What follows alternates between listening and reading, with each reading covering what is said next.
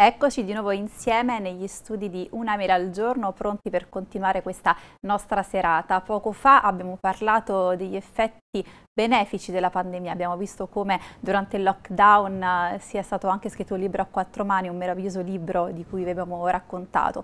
Purtroppo però eh, lockdown, isolamento, distanziamento sociale hanno portato anche effetti nefasti, i cosiddetti effetti collaterali della pandemia da Covid-19, ad essere colpiti non soltanto gli adulti ma anche i più giovani, anche i piccolissimi che sono stati vittime di ansia, stress, ma sono aumentati anche, pensate, gli atti di autolesionismo, i tentativi di suicidio e molto molto altro. Allora, per approfondire questi argomenti che vi vado a presentare la nostra prossima, prossima ospite di questa sera, la dottoressa Maria Pontillo, psicologa e psicoterapeuta dell'ospedale pediatrico Bambino Gesù di Roma. Benvenuta.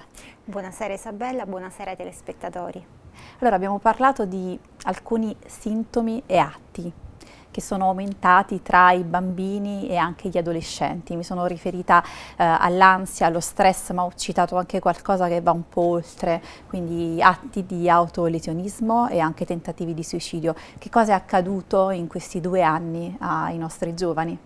In questi due anni i nostri giovani hanno sofferto, parliamo di giovani, parliamo di adolescenti, parliamo di bambini, hanno sofferto molto le restrizioni imposte dalla pandemia, restrizioni alla loro vita sociale, alla loro vita scolastica, restrizioni rispetto ai loro progetti di vita. Tutto questo si è tradotto in una condizione di malessere psicologico che ovviamente si è manifestata differentemente a seconda della fascia d'età. Per quanto riguarda gli adolescenti, lei citava l'autolesionismo. Ebbene sì, abbiamo avuto un aumento significativo dei casi di autolesionismo, ma anche di ideazione suicidaria e tentativi di suicidio. Tra i bambini abbiamo visto prevalere l'ansia, la paura, le difficoltà alimentari, la tendenza a somatizzare, ad avere dei sintomi fisici, mal di testa, mal di pancia e quindi a canalizzare le emozioni negative sul corpo. Ancora sui bambini abbiamo visto anche una regressione delle autonomie, bambini che prima dormivano da soli, bambini che prima mangiavano da soli che hanno visto perdere queste autonomie insomma. Quindi possiamo definire uno stravolgimento quello che è accaduto ma soprattutto la pandemia e le restrizioni come un pericolo per la salute mentale dei nostri ragazzi. Andando con ordine, perché lei ha delineato un po' un quadro generale, ha parlato dei più piccoli, ci sono dei sintomi tipo ansia, stress che si sono manifestati appunto nei bambini e poi ha parlato di veri e propri atti di autolesionismo e tentativi di suicidio. Partendo proprio da questi ultimi, cioè in concreto sono arrivati al vostro pronto soccorso dei giovani, degli adolescenti che che cosa avevano fatto a se stessi?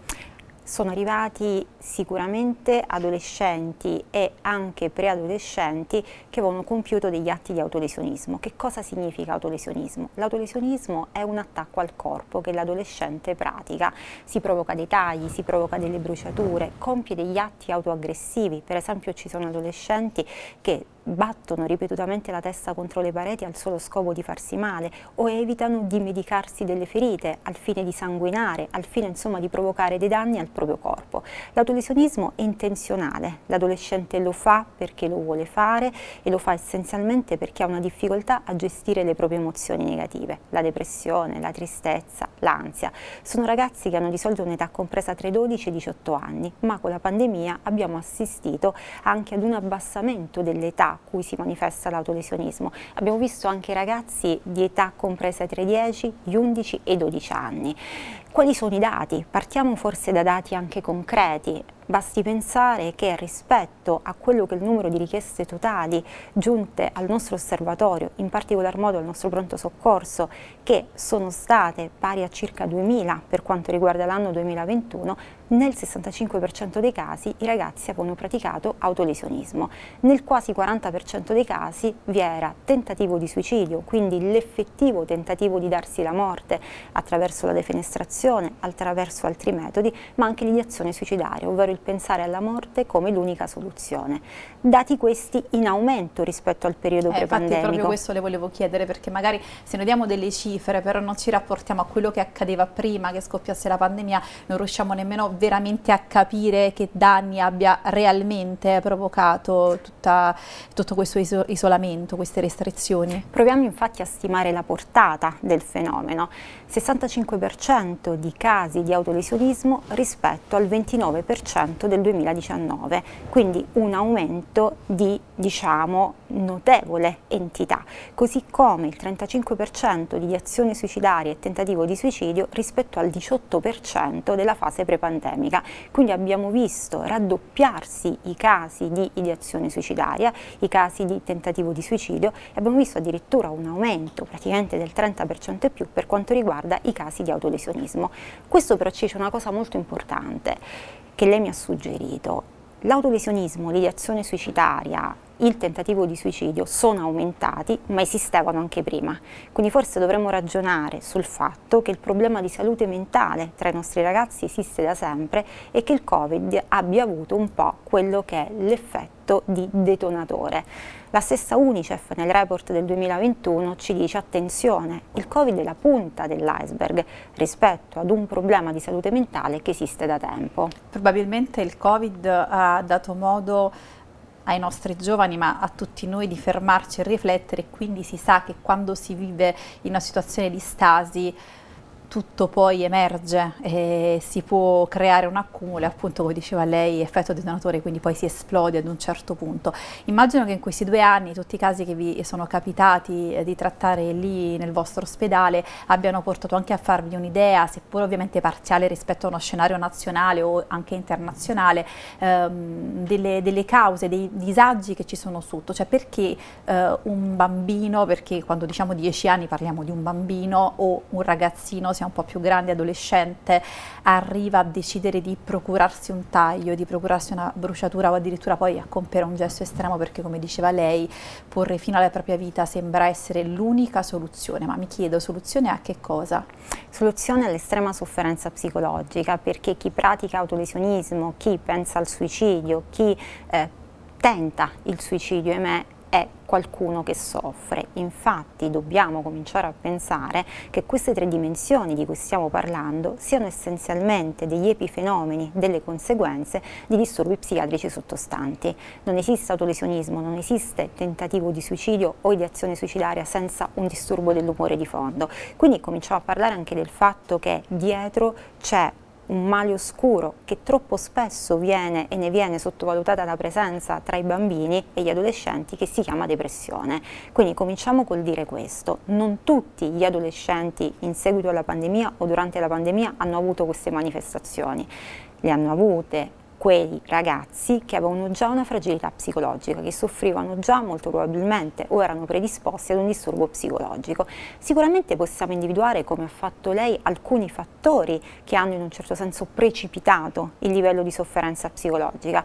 La prima, l'interruzione. Nei racconti dei nostri ragazzi che abbiamo visto, questa parola ricorreva spesso, l'interruzione della routine quotidiana, l'interruzione della propria attività scolastica, l'interruzione della propria organizzazione di vita, la scuola, lo sport, gli amici, il sabato sera e soprattutto l'interruzione dei progetti chi doveva andare a fare l'anno di studio all'estero, chi aveva la competizione sportiva per cui si era allenato da sempre, quindi questi ragazzi si sono sentiti interrotti, sospesi. E la loro paura era quella che da questa situazione sarebbe stato difficile uscire, era questo che ci raccontavano, anche perché elemento fondamentale per l'instaurarsi di questa condizione di sofferenza psicologica è stata l'esposizione protratta ad una condizione di stress. Durante il primo lockdown i nostri ragazzi hanno mobilizzato mobilitato le risorse, sono riusciti a seguire per quanto riguarda la didattica a distanza, ad impegnarsi e il protrarsi di quella condizione, di quell'esposizione ad una condizione di paura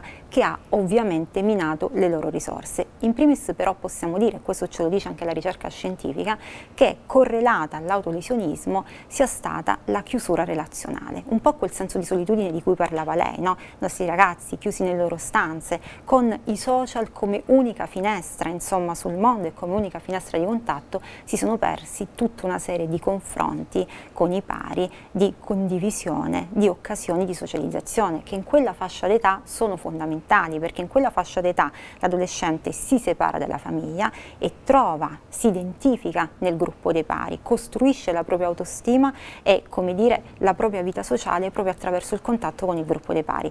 Quindi un fenomeno, un effetto pandemia nell'ambito di una fase di vita molto peculiare. Certo, perché ovviamente per un adulto interrompere momentaneamente la propria routine può essere anche un modo per riposarsi o per fare qualcosa di diverso, ovviamente per, per gli adolescenti e per i bambini è, è completamente diverso. Eh, lei diceva giustamente il protrarsi dell'isolamento e il ripetersi dei lockdown che ha aggravato la situazione al punto tale, mi corregga se sbaglio, che ehm, ci sono dei ragazzi eh, che addirittura non sono più riusciti a tornare alla vita di prima. Cioè anche nel momento in cui tutti liberi eh, si poteva uscire, si poteva tornare a frequentare la scuola in presenza, a praticare lo sport, questa categoria di bambini ed adolescenti non è riuscita, è rimasta isolata in casa e su questo argomento lei ha anche scritto un libro con il professor Vicari dove si parla dell'autoisolamento che, attenzione, non coinvolge soltanto i cosiddetti chicomori che rappresentano poi un'altra fascia e magari facciamo anche accenno um, che cosa sono questi chicomori perché ovviamente non, chi, eh, non, tutte le persone che ci stanno in questo momento guardando da casa possono veramente sapere eh, di, di cosa stiamo parlando. Quindi è ecco eh, come si è um, evidenziato questo fenomeno del non riuscire più a mettere piede eh, fuori casa, perché parliamo di questo, cioè restano in camera, non escono più, non vogliono più avere rapporti sociali. Assolutamente, questo è un messaggio importante, nel senso che si è pensato che con la riapertura ehm, avremmo avuto la guarigione dei nostri ragazzi, che la sofferenza psicologica diciamo, ehm, sarebbe stata un pochino diciamo, assolutamente arginata. In realtà non è così, nel senso che abbiamo alcuni dati che sono fondamentali. Si dice poco che la maggior parte degli adolescenti ha sperimentato l'abbandono scolastico, guardando un pochino i dati diffusi anche anche dal MIUR si fa riferimento per esempio ad un 10%, quasi il 13% della fase pandemica contro un 24% della fase post pandemica. Questo ci dice che i nostri ragazzi nel momento in cui vi era la possibilità di ripartire, di riprendere la propria vita, non tutti ce l'hanno fatta. Molti ragazzi hanno cominciato ad avere paura di uscire di casa, paura del confronto con l'altro, paura del contagio, paura di, come dire, doversi risottoporre a quelle che venivano vissute come delle pressioni quotidiane. Ecco, ancora una volta si tratta sicuramente di ragazzi che avevano già una predisposizione, vivevano già con difficoltà la vita pre-pandemica. Nel momento in cui si sono ritrovati con, diciamo, il lockdown, lockdown è come se avessero creato all'interno della propria abitazione una sorta di comfort zone da cui è difficile uscire.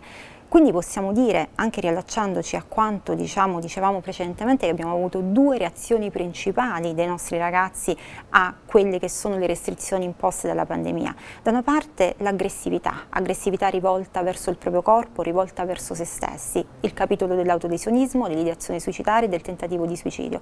Dall'altro un altro capitolo, il darsi l'isolamento, il darsi il ritiro. Ragazzi che non uscivano dalla camera neanche per condividere il passo con i propri genitori, ragazzi che si rifiutano totalmente di riprendere la scuola. Ecco, questo ci ha spinto a scrivere questo libro, Adolescenti che non escono di casa, non so di Kikomori, per dare voce a chi molto probabilmente non arriva neanche in pronto soccorso da noi, perché vive recluso, sono gli invisibili, quelli che non hanno degli agiti aggressivi per cui vengono portati dai genitori in pronto soccorso, ma soffrono in silenzio e deliberatamente scelgono di non avere più contatti sociali, insomma. Eh, però i genitori ovviamente cioè, si rendono conto perché se mio figlio vabbè, è ancora piccolo, però se un giorno dovesse da adolescente non uscire improvvisamente più di casa oppure dopo una situazione di lockdown non riuscire a riprendere quella che era la vita pre-lockdown, mi porrei una domanda, cioè quindi non arrivano da voi perché mm, nemmeno il genitore se ne rende conto, perché si sottovaluta questo aspetto e si pensa che sia una fase, che è qualcosa che passerà da sola?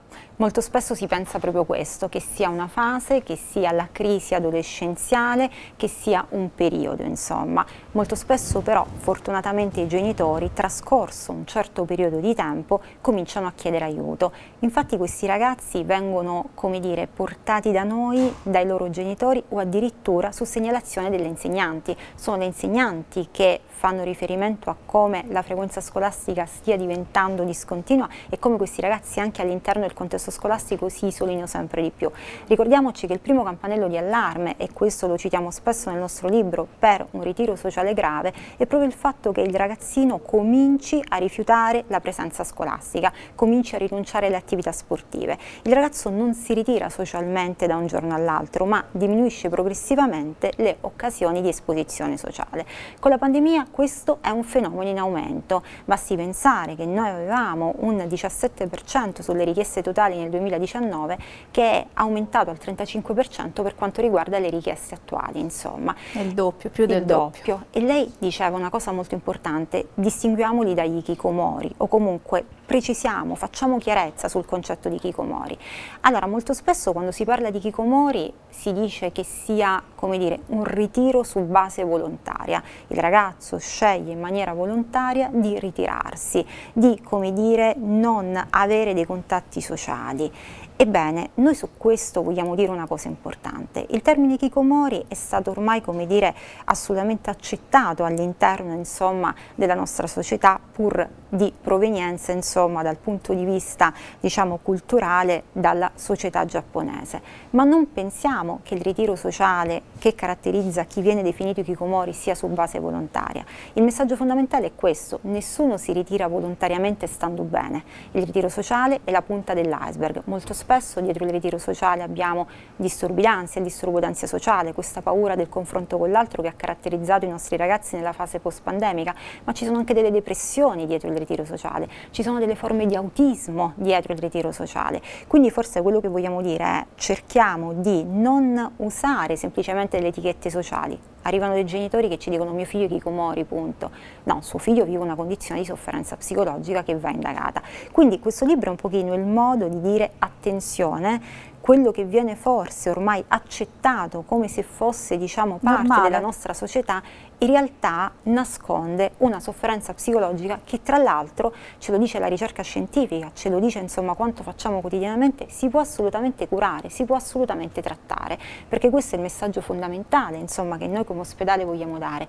La salute mentale può essere protetta nei nostri ragazzi e le forme di disturbo psichiatrico esistenti da sempre e accentuatesi con la fase pandemica possono essere assolutamente insomma, trattate. È un messaggio ai genitori, ai genitori che hanno paura molto spesso di entrare in contatto con noi, figure, operatori della salute mentale. E Fa che... sempre un po' paura, perché è qualcosa che non si può vedere, no? quando magari uno ha una patologia, allora può fare, non so, un esame, un'ecografia, una radiografia, allora si associa una patologia a qualcosa di divisibile. La salute mentale fa paura perché è intangibile, perché possiamo soltanto sperimentarla attraverso quello che viviamo magari nella relazione. Eh, a volte però questi segni, questi campanelli di allarme si preferisce anche non vederli oppure di vabbè, domani andrà meglio, domani andrà meglio, però procrastinare non fa altro che peggiorare la, la situazione. Assolutamente ovviamente. sì, la salute mentale, i problemi di salute mentale riguardano l'emotività, riguardano la sfera emotiva, riguardano quelli che sono gli stati mentali e molto spesso si preferisce non vedere anche perché nei genitori scatta quello che è un meccanismo meccanismo di colpevolizzazione, cosa ho sbagliato, non sono stato un buon genitore. Allora noi vogliamo dire a questi genitori che non è così, non è colpa dei genitori. I problemi di salute mentale sono il risultato di una interazione sicuramente tra fattori di rischio di tipo genetico e fattori di rischio ambientale, degli stress quotidiani che possono essere vissuti anche al di fuori dal contesto familiare. Quindi ai genitori chiediamo cogliete i segni, i segni precoci, perché quello che dobbiamo evitare è la cronicizzazione.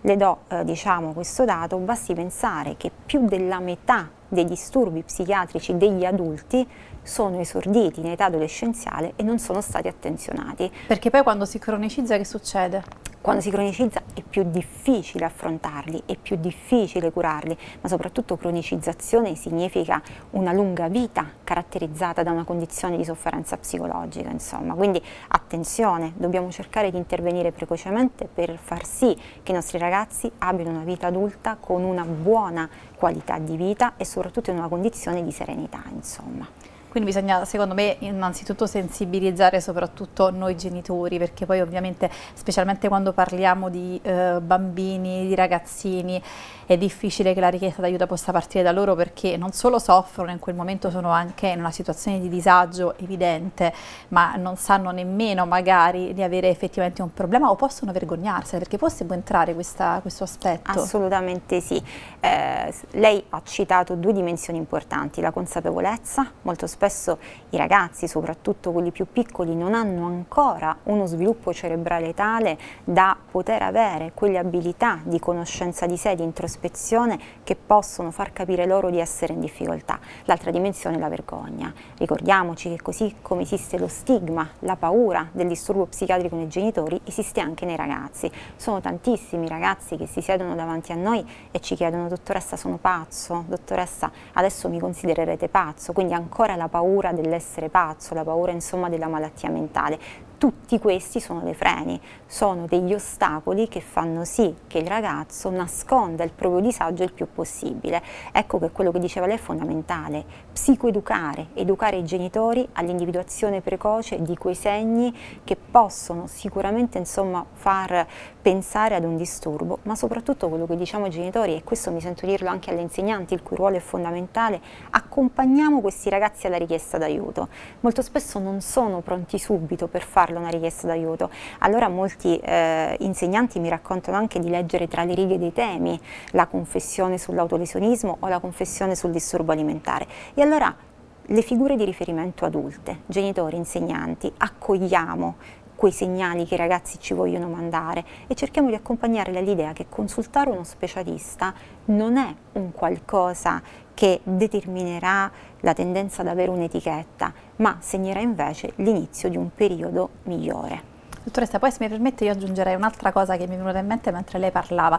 Lo stigma sì, è vero, sono consapevole e, e sono convinta che esiste e che sia anche troppo forte, però dall'altro c'è anche una sottovalutazione, non sottovalutare la, la, la, il disagio o la patologia eh, che riguarda la mente. Eh, mi è capitato di sentire con le mie stesse orecchie, reagisci, questa cosa è solo nella tua testa, quindi ce la puoi fare, eh, guarisci da solo, no? in un certo senso, cambia il tuo modo di vedere, ma non è così, non è che se io soffro di depressione o di qualsiasi altro disturbo posso da sola una mattina svegliarmi e dire ok, guarisco, reagisco con la mia mente. La ringrazio assolutamente per questo messaggio, anche perché troppo spesso sento è carattere, crescerà, eh, quest'ansia andrà via con l'età. Eh, se i genitori fossero stati più severi lui non sarebbe così, quindi troppo spesso sento quella che possiamo definire, mi perdoni, una banalizzazione dei problemi di salute mentale. Ricordiamoci però che depressione, disturbi d'ansia, psicosi sono dei disturbi psichiatrici, sono delle malattie, così come una malattia diabete, così come una malattia potrebbe essere un'altra forma infettiva per esempio, ma sono delle malattie che vanno assolutamente assolutamente curate e trattate da specialisti soprattutto. Con percorsi di psicoterapia e se laddove necessario anche con i farmaci adeguati, anche di questo non bisogna secondo me avere assolutamente timore, paura perché questo anche nei confronti dell'utilizzo dello psicofarmaco, qua c'è un'altra parentesi che potremmo aprire di stigma nei confronti del farmaco perché appunto come diceva lei allora sono pazzo, si è pazzi, si ha una malattia, si ha una patologia come può essere a livello gastrico, a livello intestinale o a livello di qualsiasi altra parte del, del corpo e come tale va curata e per essere curata bisogna chiedere aiuto agli specialisti agli specialisti e affidarsi a cure che abbiano un'evidenza scientifica e l'approccio integrato è sicuramente quello maggiormente riconosciuto come efficace. Approccio integrato significa avvio di un percorso di psicoterapia, psicoterapia che molto spesso non coinvolge solo il bambino o l'adolescente ma coinvolge anche la famiglia, coinvolge chi vive insomma insieme al ragazzo col disagio. Nei casi più difficili, nei casi più gravi sicuramente viene effettuata una valutazione rispetto all'inserimento di uno psicofarmaco. Tranquillizziamo i genitori, non è una scelta a cuor leggero o non è una scelta facile. L'inserimento di un farmaco è sempre il risultato di una valutazione che viene fatta dallo specialista neuropsichiatra tenendo in considerazione quello che è lo stato di salute fisica globale del ragazzino. Molto spesso non sono diciamo, assunzioni che devono essere fatte a vita, ma sono certo. assunzioni che servono per un determinato periodo di tempo e poi sarà l'equipe a decidere, a concordare con la famiglia, quella che è la diminuzione graduale delle terapie. Quindi questo è molto importante secondo me dirlo. Avere un problema di salute mentale in adolescenza, in età evolutiva, non significa averlo a vita, anzi se interveniamo efficacemente efficacemente, cercando di liberarci da molti schemi che possono invece semplicemente accentuare il disagio, riusciamo ad essere efficaci, tempestivi e soprattutto risolutivi. Certo, certo, assolutamente. Allora, dottoressa, io la ringrazio davvero per il suo contributo questa sera e spero che attraverso le sue parole eh, chi in questo momento ci sta guardando da casa e magari vive un'esperienza di questo tipo accanto a sé, delle persone che la vivono, possa aver ricevuto un messaggio importante che è quello di chiedere aiuto, senza vergognarsi e senza avere paura, perché si può trovare la soluzione, anzi, prima si agisce meglio eh, si troverà eh, la strada giusta da percorrere per ognuno di noi. Grazie a lei e grazie a tutti i telespettatori, buonasera. Una mela al giorno ovviamente non finisce qui, quindi rimanete con noi perché torniamo tra poco.